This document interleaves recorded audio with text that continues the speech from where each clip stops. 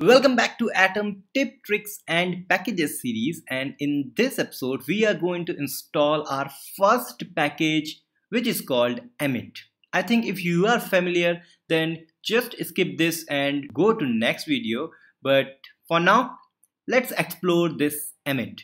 So I will just close these tabs and now I will open preferences by pressing command comma and here on packages you will see lots of packages. 79 packages are coming from the atom itself. So various packages are already there but I want to install our new package. So I will go to install.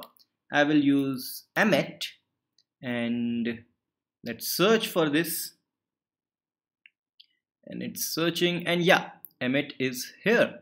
And you can see it's rating. So let's just install this here and we will see what this will going to do okay. So it's installing. So I will open new tab just by double clicking here. So I will double click here. And let's keep this as HTML so HTML and let's see whether it's installed or not. So it is now installed. And let's go here and let's create a HTML5 markup. So, so here it is.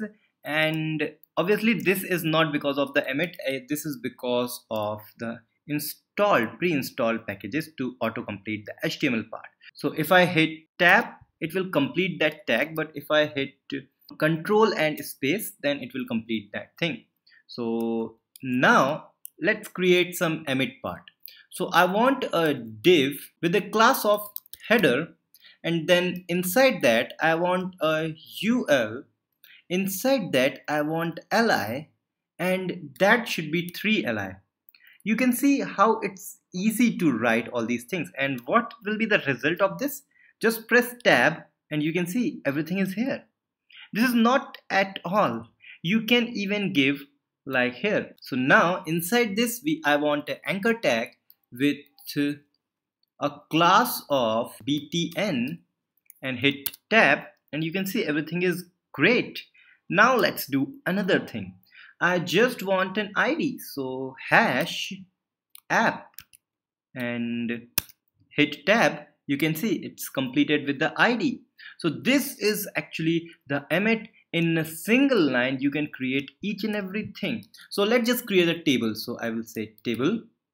Then inside table I want table head and inside table head I want table th which is 3 okay?